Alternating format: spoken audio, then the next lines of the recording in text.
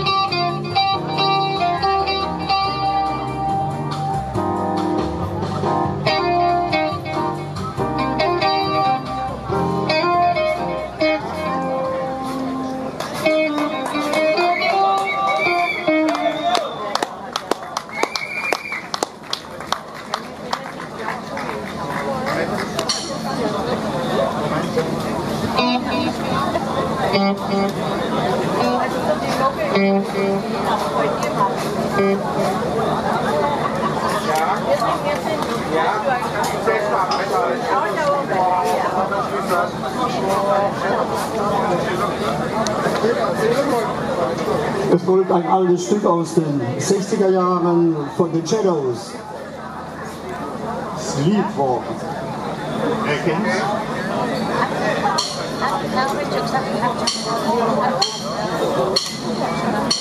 Volker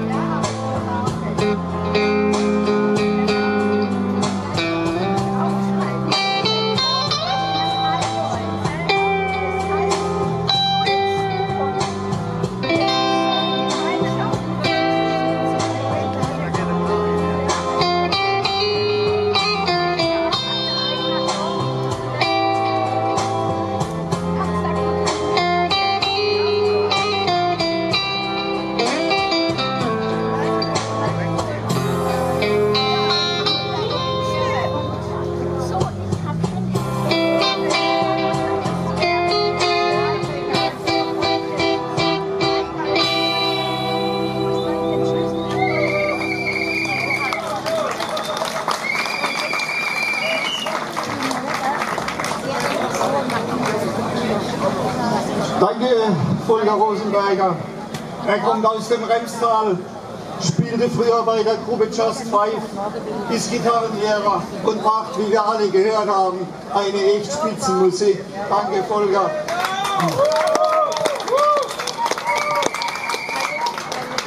Vorab, am 24. Juni, äh, Juli findet eine, Groß eine Demo statt, Druck in den Kessel für ein anderes Stuttgart, ein ganzer Nachmittag Programm, 18 Uhr die Demo. Es gibt Informationsmaterial hier am Infostand. Bitte deckt euch mit Infomaterial ein, verteilt es und kommt kräftig. Hallo Freunde.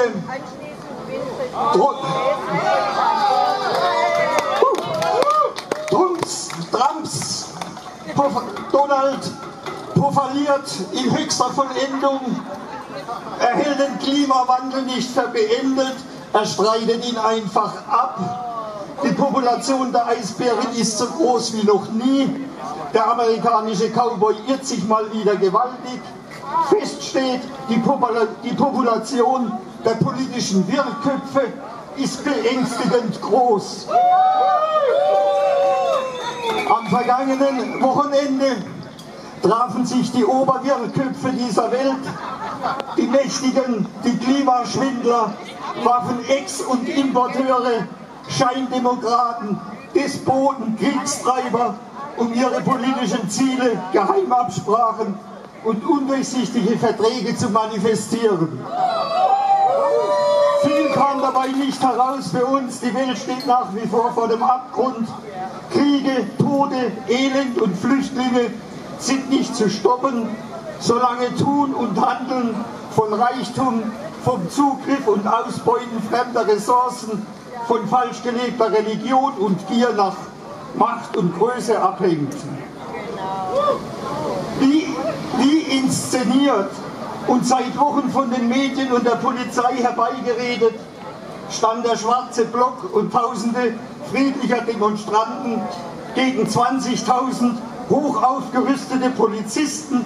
Wir erkennen alle den Anblick, die vorhersehbare Gewalt durch die Chaoten, von der ich mich ausdrücklich distanziere, verlief wie nach Regieanweisung und brachte die Bilder und Berichte in die Welt, welche benötigt werden, um das Recht auf Demonstrationen, die Versammlungsfreiheit in Frage zu stellen.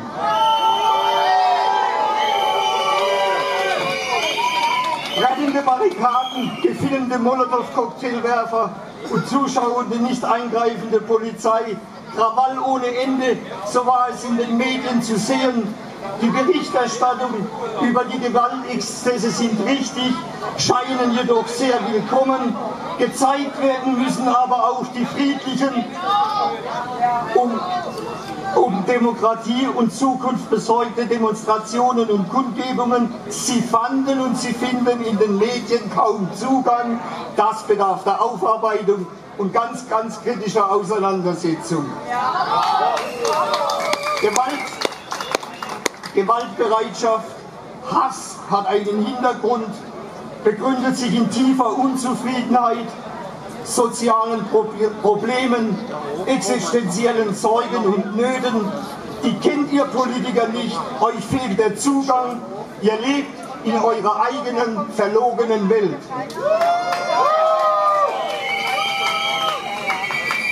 Zur Freude der Etablierten sind die politisch Leidtragenden die Partei Die Linke. Es ist Wahlkampf. Kräftig wirft man die Chaoten mit den Linken in einen Topf. Das freut die Schwarzen. Am vergangenen Samstag wurde ich am linken Infostand in Bretten, wir haben gerade äh, Bürgermeisterwahl demnächst, wurde ich von Leuten, von Mitbürgern begrüßt, na du Knacker, du Krawallmacher.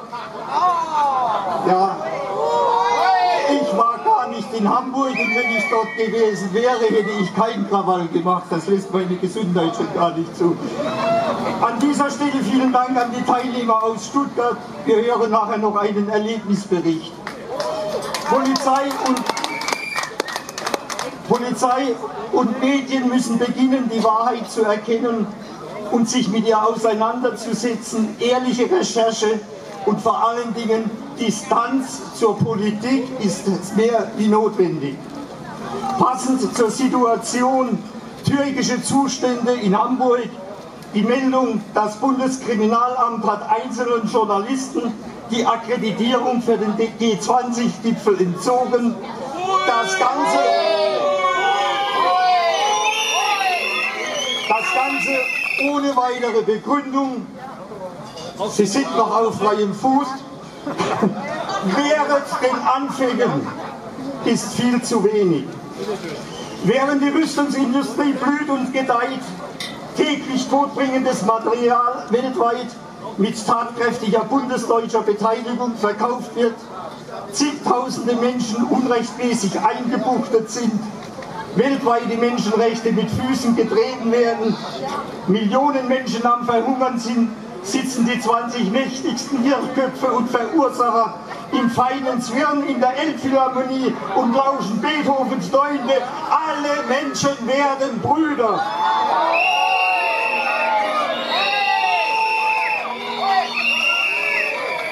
Wer schützt uns eigentlich vor denen im feinen Zwirn? Herzlich willkommen zur 376.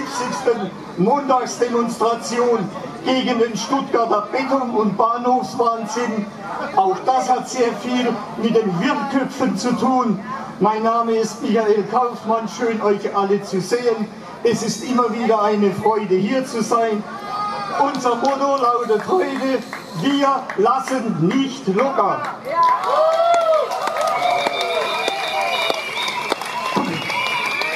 Wir hören heute als Redner Michael Becker, Kernen 21 zum Thema Bär, das Stuttgart 21 der Lüfte.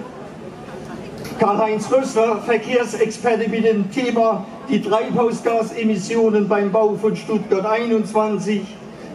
Volker Rosenberger darf uns noch mal mit seiner Musik beglücken und zwischendurch hören wir jetzt Dieter, Richt, Dieter Richter. Er hat einen Erlebnisbericht, er war in Hamburg.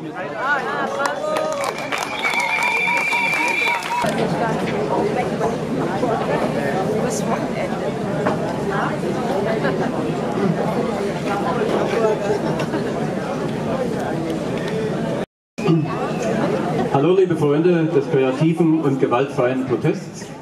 Mein Name ist Dieter Richter, Parkschützer und vielseitiger Aktivist. Danke an das Demo-Team voran, dass ich, hier kurz, dass ich hier kurz über mein Erleben des vergangenen Protestwochenendes gegen G20 in Hamburg berichten kann. Es ist auch ein Bericht über Gewalt, der aber gar nicht mit den aktuellen Medienberichten übereinstimmen will. Am Donnerstagabend wollte ich mit den Freunden zur Welcome to Hell Demo am Fischmarkt, welche durch die Behörden ohne Auflagen genehmigt worden war. Und bei der ca. 10.000 Teilnehmer bereitstanden, auf die Demoroute zu gehen. Angeblich wegen 1000 vermummter Teilnehmer wurde die Demo sofort von einem Großaufgebot von vermummten Polizisten gestoppt. Nach Polizeiaufforderung reduzierten dann viele von ihnen ihre Vermummung im Gesicht. Ringsum an den engen Straßenrändern standen tausende Zuschauer. Nachdem ein, zwei Böller irgendwo hinten gezündet wurden, stürmte die Polizei in diese Demo hinein und setzte die Wasserwerfer sofort ein.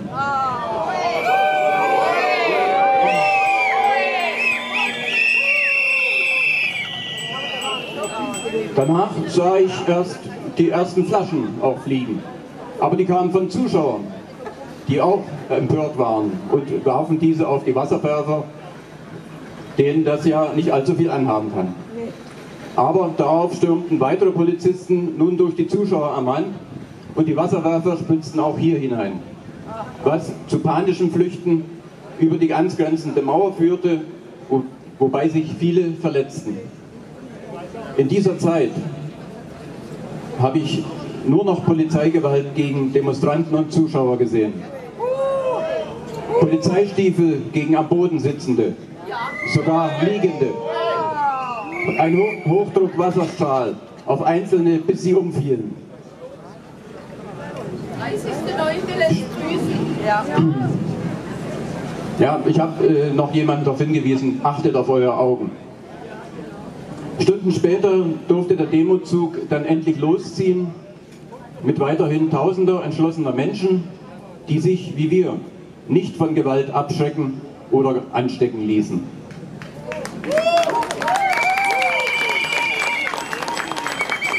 Am Freitag, dem Blockadetag, versammelten sich einige tausend Demonstranten an verschiedenen Punkten, um Sand ins Getriebe dieses Gipfels zu streuen. Bei diesen friedlichen Straßenblockaden gab es nach Berichten von Teilnehmern schon hartes Vorgehen der Polizei. Unterwegs fragte ich einen Polizisten mit einem Schildchen Kommunikationsteam, wie bei uns Deeskalationsteam, ne? wo er denn am Abend zuvor war. Die Antwort, darüber brauchen wir wohl nicht zu reden. Das ist die Kommunikation in Hamburg. Am Nachmittag gab es leider ein paar vermummte Dummköpfe, die Steine nach Polizisten warfen. Daraufhin begann eine Art Treibjagd auf alle, die irgendwie nach Demonstranten aussahen. Vier Stück dieser Wasserkampfmaschinen blockierten eine Straße am Hamburger Wahrzeichen der Kirche, auch Hamburger Michel genannt. Als wir in ihre Nähe kamen und sofort bespritzt wurden, flüchteten wir uns über den Vorplatz bis zur Kirchentür was die Wasserwerferführer überhaupt nicht hinderte, weiterhin den Strahl auf uns zu richten. Ein tolles Bild, Wasserwerfer gegen Kirche. Eine Aktivistin wurde kurz darauf, oder wurde auf ganz kurze Distanz mit, mit Hochdruck äh, zu Fall gebracht und stürzte mit dem Kopf auf die Straße. Zwei andere Demonstranten sah ich, die durch einen Wasserstrahl kurz vor einem Reisebus zu Fall gebracht wurden. Zum Glück fuhr dieser Bus sehr langsam. Hier, wie am Donnerstagabend, wurden von der Polizei tatsächlich Tote in Kauf genommen.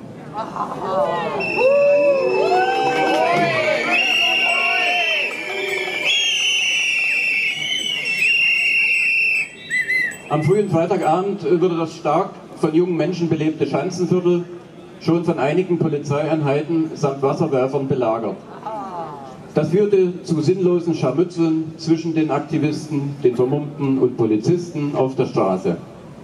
Meiner Meinung nach hätte ein Abziehen der Polizei sofort wieder Ruhe einkehren lassen.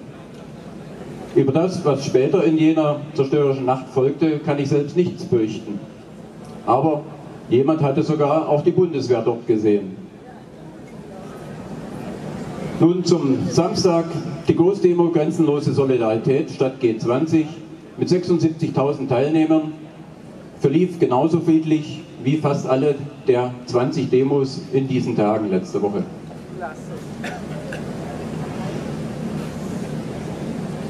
Übrigens, am Samstagabend waren die Straßen im Schanzenviertel nach dem ersten Aufräumen wieder bunt von Menschen, die man dort sicher nie vertreiben kann. Am Sonderzug spät abends, der zurück in den Süden fuhr, gab es schon erste Schikanen gegen Protestler. Die Polizei wollte sie erst nach Videoaufnahmen zum Zug lassen. Ich bin gleich zu Ende. Mein Fazit. Durch wochenlanges Reden über gewaltbereite, über gewaltbereite Teilnehmer und die hier beschriebene Polizeigewalt wurde die Gewalteskalation eine sich selbst erfüllende Prophezeiung. Wahrscheinlich, sehr wahrscheinlich, war dies politisch so gewollt.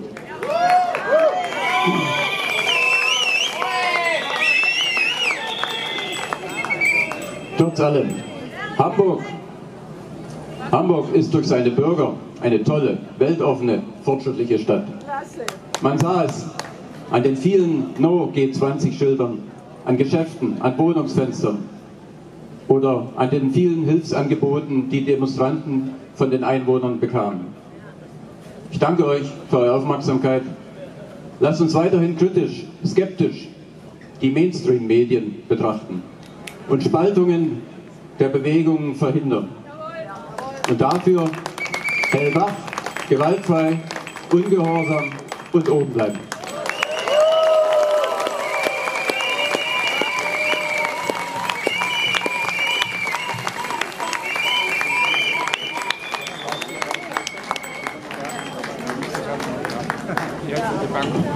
Danke Dieter und danke an alle, die in Hamburg waren. Ich möchte hier noch ganz kurz anhängen. Die Herde, die war angekündigt vom Herrn de Maizière. Die Herde war politisch gewollt. Ich zitiere sinngemäß einige Aussagen von Frau Anwältin Gabriele Einige vom anwaltlichen Notdienst, intensive Beobachterin der Vorkommnisse am vergangenen Donnerstag laut Pressekonferenz vom 7. Juli. Wir haben gesehen, dass die Behauptungen im Nachhinein, dass es Tausende von Vermummte gab, welche sich nicht hätten belehren lassen, eine Fake ist, eine Lüge. Ein Staat darf nicht mit Lügen arbeiten. Die Demo, die Demo, als sie angegriffen worden ist, war friedlich, war absolut friedlich gegen eine friedliche Demonstration darf nicht angegriffen werden. Der anwaltliche Notdienst will heute sagen, was wir hier sehen, ist, ein groß, ist eine groß angelegte Bürgerkriegsübung, eine Aufstandsbekämpfung ohne Aufstand. Das Ganze ist ein massiver Verstoß gegen die Verfassung. Die Rufe des Herrn de Maizière nach einer Notstandsverfassung sind unmäßig und rechtswidrig. Wer das gesamte Statement anhören möchte, er kann es googeln, einfach eingeben. Das sagt der anwandtliche Notdienst. So, jetzt hören wir Michael Kerner. Nicht Michael Kerner. Hören wir Michael von den Kerner, von Kerner Viertel. Guten Abend. Stuttgart 21 und der Großflughafen Berlin-Brandenburg, kurz BER, haben zwei große Gemeinsamkeiten. Sie sind für ihre Aufgabe untauglich und werden von den politisch Verantwortlichen gegen die Ratio und einen gesellschaftlichen Nutzen durchgepeitscht. Bundesweites Aufsehen allerdings erregte der BER durch seine Baumängel und die Verzögerung der Eröffnung. Das ist peinlich und wirft ein schlechtes Licht auf den Industriestandort Deutschland. Der eigentliche Skandal, das sind aber die Methoden, mit denen Schönefeld gegen die anderen Standorte durchgesetzt wurde.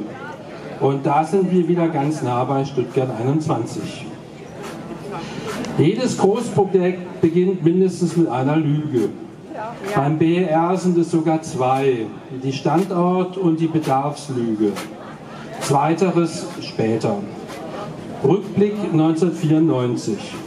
Berlin ist inzwischen avisierte Bundeshauptstadt geworden und es wird in einem Raumordnungsverfahren ein Standort für einen zentralen Großflughafen gesucht, um die drei anderen zumachen zu können. Dabei werden die beiden Standorte Sperenberg und Jüterburg Ost als geeignet ausgewiesen. Der Standort Schönefeld Süd scheidet wegen der Lärmbelästigung und der notwendigen Umsiedlung von Anwohnern aus. Schubs, das war's, kein Großflughafen in Schönefeld. Doch es kam anders. Die Flughafen Berlin-Schönefeld GmbH hatte nämlich vorher Grundstücke für das Baufeld Ost durch die Brandenburgische Landesentwicklungsgesellschaft kaufen lassen. Dieser Fehlgriff belastete die Bilanz bis zum Dezember 2002 mit 700 Millionen D-Mark. Von da an gab es kein Halten mehr. Nun sollte Schönefeld gegen alle Widrigkeiten durchgesetzt werden und da gibt es einige. Dioxinbelastung und militärische Altlasten auf dem Gelände werden von den Behörden kleingeredet. Überfluggebiete und Lärmkarten werden geschönt. Die deutsche Flugsicherung, die die Mängel aufdeckt, wird angewiesen, die Füße stillzuhalten. Bürgerbeteiligung unerwünscht. Hier zitiere ich wörtlich aus der Chronik skandalös, die die Bürgerinitiative Bürgerverein Berlin-Brandenburg e.V. zusammengestellt hat. 28. Dezember 2005. Die Brandenburgische Planfeststellungsbehörde fordert die Naturschutzverbände auf, über den Jahreswechsel schnell die bislang vergessene Befreiung der Naturschutzverbände, die eine zwingende Voraussetzung für jegliche Bauvorhaben ist, zu erteilen. Die Mitte Januar 2006 übermittelte Stellungnahme der Naturschutzverbände lautet, die Befreiung kann wegen der absehbaren schweren Gefährdung von massenhaft geschützten Tierarten nicht erteilt werden. Kurzerhand erklärt die Landesregierung Brandenburg die fachliche Stellungnahme der Naturschutzverbände für nichtig und erteilt sich seinerseits die benötigte Befreiung selbst. Auch hier, auch hier sind wir wieder ganz nah bei Stuttgart 21. Ich hätte mir jetzt ja vorgenommen, mich nicht im Klein-Klein der Baumängel zu verlieren, aber die technischen Unzulänglichkeiten, die da so dilettantisch zutage getreten sind, sollten doch erwähnt werden. Das will ich, deswegen will ich hier ein paar Deep Lights der BR'schen Baumängel erwähnen. Rolltreppen werden zu kurz berechnet. Statt nun längere zu ordern, beginnen diese jetzt mit festen Steinstufen. Anwohnern fiel die ständige Festbeleuchtung des Flughafens weit vor der Eröffnung auf. Grund Mängel in der Ansteuerung der Lampen.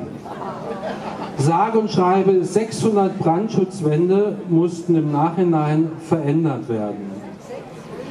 Vor dem avisierten Eröffnungstermin, das ist schon der zweite, dem 2.6.2012 war klar, dass bis dahin die komplexe automatische Brandsteuerung nicht funktionieren wird. Deshalb wollte man sich die Genehmigung des Brandschutzkonzeptes mit einer sogenannten Mensch-Maschine-Schnittstelle erlauben lassen. Sprich, Statt Sensoren, die Brandschutzeinrichtungen steuern, hätten Menschen dann die entsprechenden Schalter von Hand betätigt. Ich sehe es vor mir. Ein roter Feuerderwisch hüpft, es brennt, es brennt, rufen durch die Schalterhallen und zwangsverpflichtete Mesner ziehen am Glockenzug die Brandschutzklappen auf. Deutschland ist Hightech-Land, Stuttgart 21 und der BER die Vorzeigeprojekte der Kanzlerin. Und nun zur Bedarfslüge. Braucht es diese Flughafenkapazitäten überhaupt? Zum Junggesellenabschied übers Wochenende nach Malle, Tagesshopping-Trips nach Mailand oder Manchester für 9,95 Euro. Alles nur möglich dank Lohndumping und steuerfreiem Treibstoff. Wir sagen Nein und ich fordere die Streichung aller Subventionen für die umweltschädlichste aller Mobilitätsformen und einen konsequenten Ausbau der Schieneninfrastruktur. Mit der Einführung eines Deutschlandtaktes, der Wiedereinführung europaweiter Nachtzugverbindungen und dem Stopp vermeintlicher prestigeträchtiger Großprojekte wie Stuttgart 21 und dem BER. Und das viele schöne Geld, was dafür schon verbraten und verschmiert wurde, ist leider weg. Doch nun gilt es, das Beste aus der Situation zu machen. Bei Stuttgart 21 haben wir das zukunftsweisende Konzept Umstieg 21 erstellt. Und für die Berliner hätte ich da auch noch eine Alternative anzubieten. In dem Parkhaus setzen wir die ganzen SUVs mit Schummelsoftware fest. In den Abschiebegefängnis parken wir die kriminellen Automobilmanager von Audi und Co. bis zu ihrer Abschiebung nach Elba. Den Tower könnte Christo mit Plastikmüll aus der Ostsee verhüllen. Die Abfertigungshalle machen wir zur Geocaching-Zone und lassen die Besucher die 10.000 Mängel suchen. Der Flughafen wäre belebt, die Gastronomiebetriebe hätten Kundschaft, die S-Bahn müsste nicht mehr leer fahren, um die Schimmelbildung an den Wänden zu verhindern und wir alle könnten gemeinsam oben bleiben.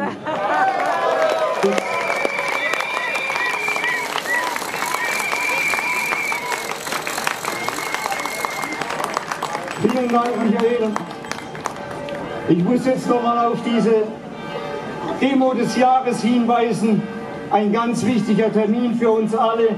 Montag, den 24. Juli, 17 Uhr, äh, 17 ab 18 Uhr findet die Sommerkultur-Demo auf dem Schlossplatz statt. Motto, Druck in den Kessel für ein anderes Stuttgart.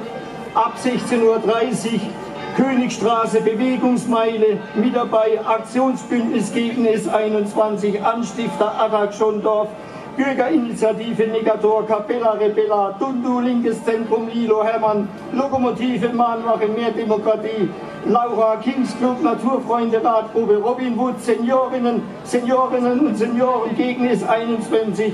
S21 ist überall, Stuttgart, Laufdenei und sonst und draußen und ihr alles.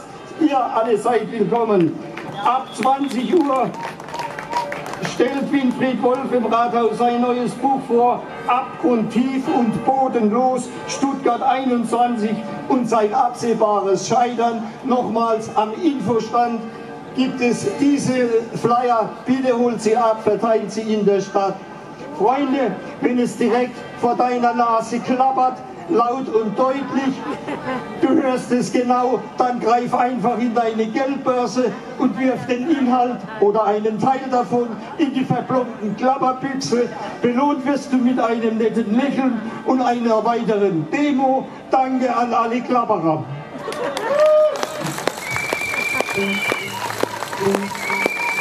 Vor einiger Zeit war zu lesen, dass die Geberländer mehr Geld für den Jemen zu geben gedenken. Knapp sieben Millionen Menschen wissen nicht, woher sie ihre nächste Mahlzeit bekommen. Fast 2,2 Millionen Kinder sind mangelernährt. 500.000 von ihnen droht der Hungerstod. Alle zehn Minuten stirbt ein Kind unter fünf Jahren. Deutschland erhöht die humanitäre Hilfe im Vergleich zu 2016 um knapp 17 Millionen auf sage und schreibe 50 Millionen Euro. Ich las das auf dem Weg zu Deutschlands teuersten und unnötigsten Bauvorhaben, das gut 12.000 Millionen Euro und mehr und mehr kostet. Für etwas, was nichts taugt, aber auch gar nichts taugt an alle Wirrköpfe. Eine Ingelhofsche Kellstütze kostet 1,85 Millionen Euro, laut Stuttgarter Zeitung vom 19. Mai 17.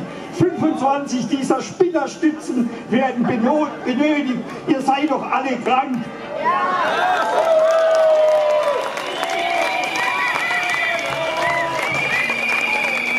Beobachtet habe ich an diesem Tag im Brennener Bahnhof einen Mann meines Alters, ärmlich gekleidet, Gehstock mit drei Stützen. Bei jedem Abfallkorb hielt er inne, langte hinein. Freunde, er hat nicht die Flaschen rausgeholt.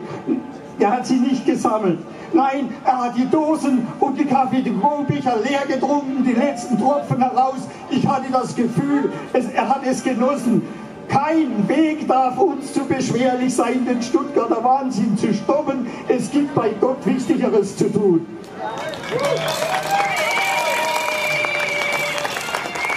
Hören wir und freuen uns auf unseren Musiker Volker Rosenberger.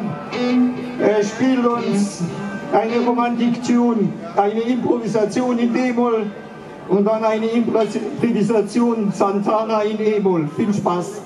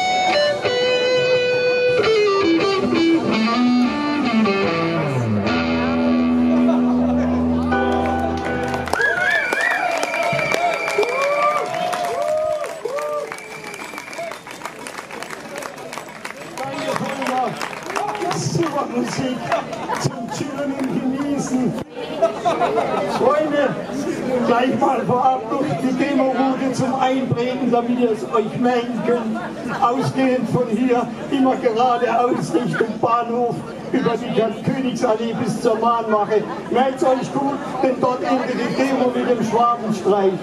So, jetzt hören wir noch Karl-Heinz Rössler zum Thema Treibhausgasemissionen beim Bau, von, beim Bau von Stuttgart 21. Trockenes Moos am Straßenrand macht den Bürger noch mehr krank oder so ähnlich.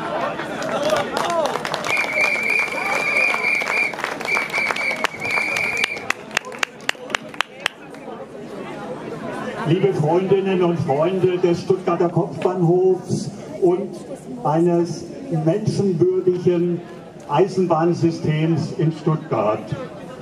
Im Dezember 2017 werden zwei Jahre vergangen sein, seit fast alle Staaten der Erde, außer Nicaragua und Syrien, das Klimaschutzabkommen von Paris vereinbarten.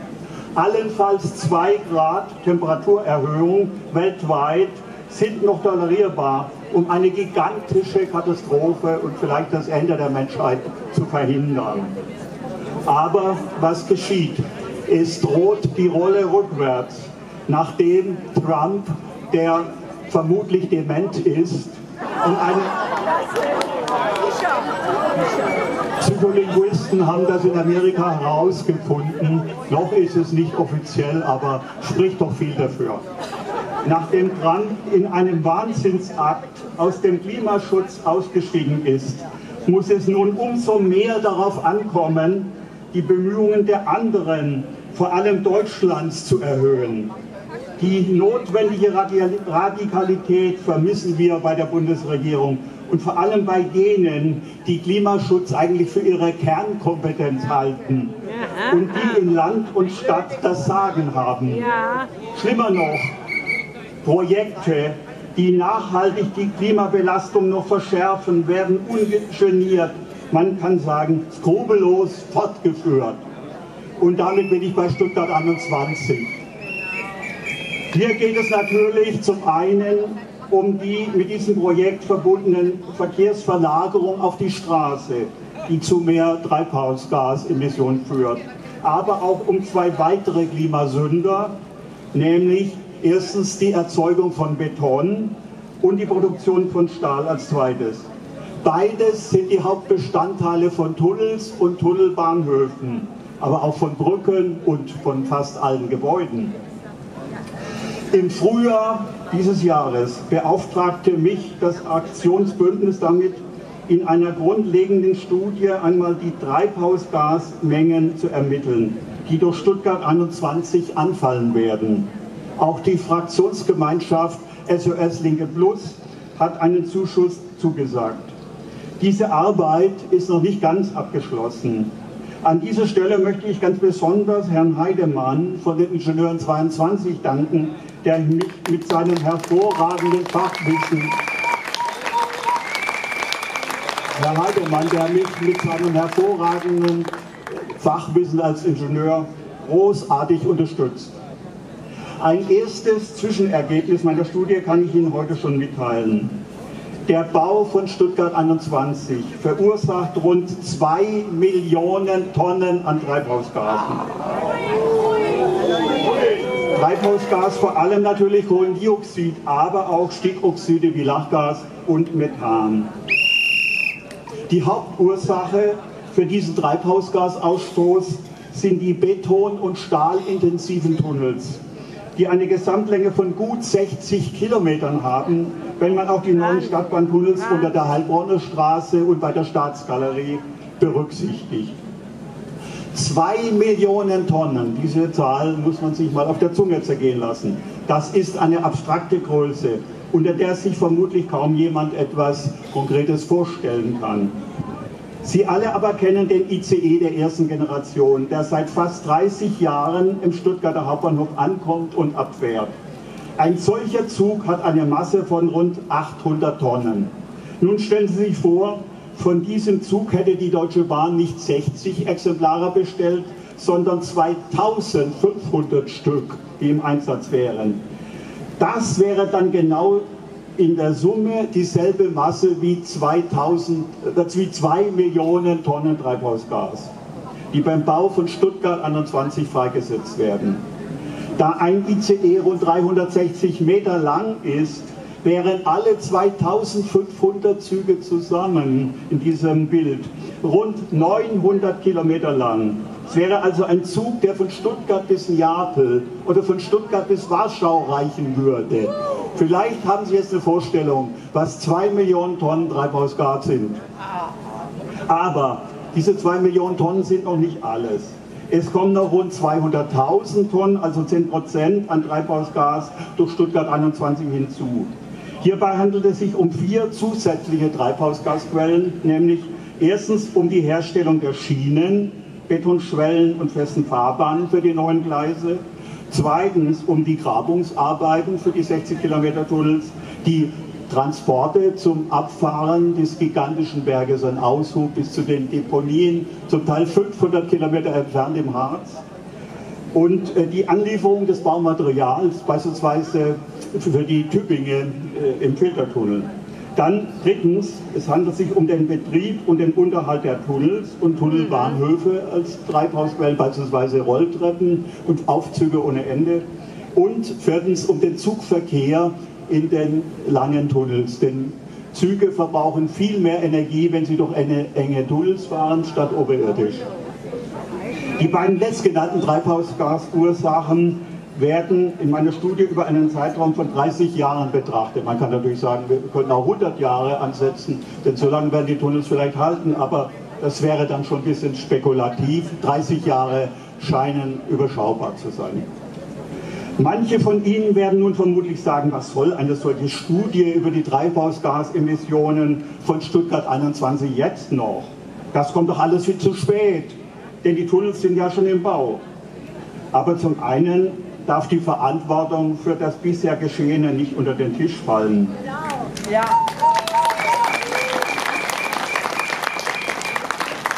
Und heute diese große Klimasünde zu beenden, ist immer noch viel besser, als weiterzubauen, als wäre nichts geschehen.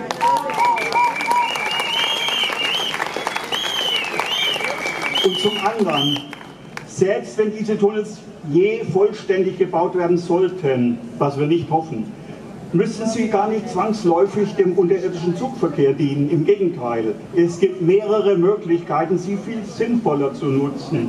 So wie im Konzept Stuttgart äh, Umstieg 21 vorgeschlagen wurde, kann man die große Baugrube am Hauptbahnhof, also im Herzen von Stuttgart, auf vielfache und viel nützlichere Weise verwenden. ZOP ist ja schon genannt worden, Bad, Parkhaus, äh, Parkplätze für Park-and-Ride-Autos.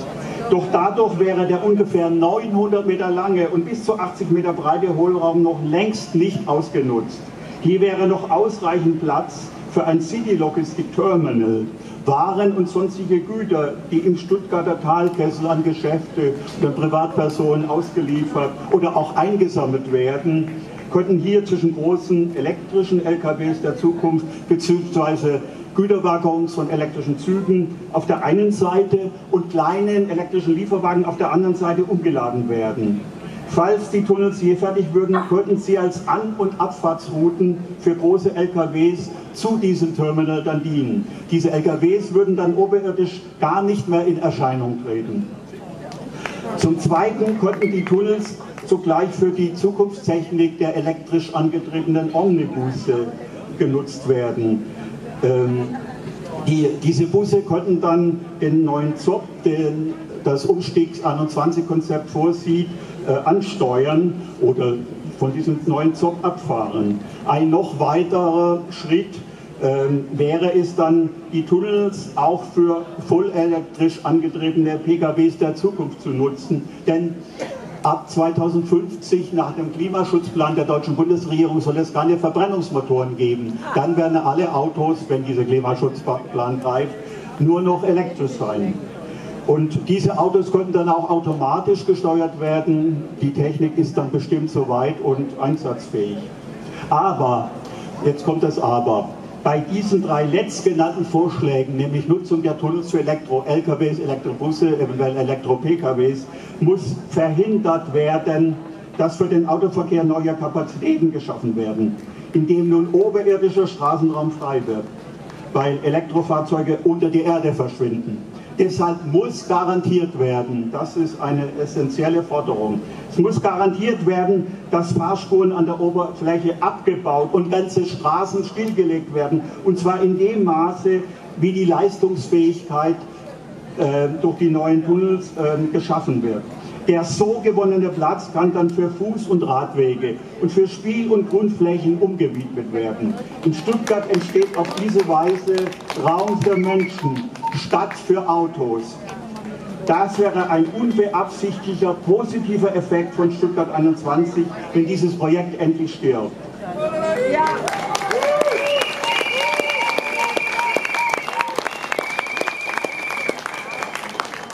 Auch wenn meine Studie noch nicht ganz klar abgeschlossen ist, kann ich klar feststellen, wer es ernst meint mit dem Klimaschutz, muss Nein zu Stuttgart 21 sagen.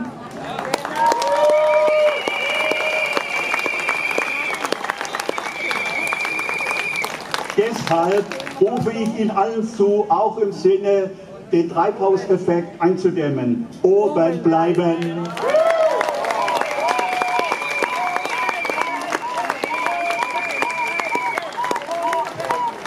Vielen Dank, Karl-Heinz Rössler. Er ist der zweite Name von dem uns bekannten Verkehrswissenschaftlichen Institut Viereck Rössler. Er begleitet uns von Anfang an gegen das Projekt 21 und unterstützt uns schon lange. Zum Schluss, liebe Freunde, noch ein paar kleine Termine. Friedensstadt Stuttgart am Montag, den 17. Juli 17. Krieg, Macht, Armut, Flucht, Diskussionsveranstaltung zur, Überwindung von Fluchtursachen mit Vertretern von Frieden- und Flüchtlingsinitiativen und Kandidaten zur Bundestagswahl am 17. Juli 20 Uhr, Welthaus Stuttgart, Charlottenplatz 17. Die Hamburg-Fahrer und Interessierte treffen sich am nächsten Freitag, den 14.07. um 20 Uhr im Gasparitsch in der Rotenbergstraße 125 zur Diskussion, zur Aufarbeitung vom, vom Erlebnis in Hamburg. Morgen früh um 7 Uhr Frühstück am Bauzaun. Wir verabschieden einen Recken des Widerstandes. Er zieht ins Allgäu, unser lieber Karl. Er verlässt Stuttgart. Wir wollen ihm einen Abschied bereiten. Wer Zeit hat und kommen möchte, Karl wird sich freuen. Er hat sehr, sehr viel für uns getan. Er saß auch in der Haft für uns.